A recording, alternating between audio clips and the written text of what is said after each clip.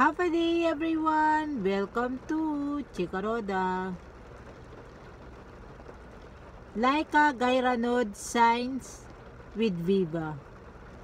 Former child star Laika Gairanod is now ready to make a showbiz comeback after she took some time off from the spotlight. The singer-actress who rose to fame after winning the first season of The Boys Kids in 2014 was launched on Wednesday, November 25 as the newest talent of Viva Artists Agency. According to Laika, it was her coach, pop star royalty Sarah Geronimo who inspired her to join Viva. Nag-usap-usap pa rin po kami ni Coach E. Hanggang ngayon, she revealed. Nagbabalitaan po kami sa isa't isa kung kumusta na po kami. Sinabi po sa akin ni Ate Sara na kung gusto ko raw po magviva.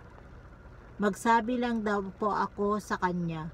Siyempre, malaking opportunity na po yun sa akin na sinasabi niya po na gusto ko niya, gusto niya rin po akong maging part po ng mga concerts niya.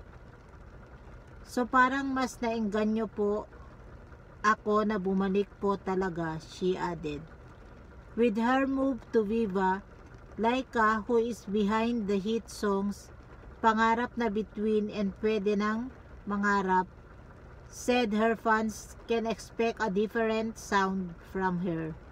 Siguro kasi po nung Laika dati is parang more on ages, more on birit-birit. Siguro po ngayon, ano tayo ngayon eh, puro soul. Kasi alam naman po natin na talagang mas maganda po talaga yung nanggagaling talaga sa puso. Gusto ko po na maipresenta ako sa panibagong tunog, she said. Laika, who's previously acted on the big screen via the 2017 drama film Tatlong Bibe and on TV in the Maalaala Mo Kaya episode of her life story. Said she hopes not just to enhance her singing but also her acting and dancing. Gusto kong mahasa sa pag-acting at sa pagkanta, she said. Gusto kong mas ma-enhance ang career ko ngayon na nandito na ako sa Viva. By signing a contract with Viva, Laika now joins the ranks of not just Sarah but other stars such as Ann Curtis, Vice Ganda, Yasi Pressman, and Julia Barreto. Laika said she considers joining the stable of Viva Talents a big break for her. Hindi ko akalain na magkakaroon pa ako ng ganitong opportunity sa Viva, she said. Gusto kong maipakita ang best ko.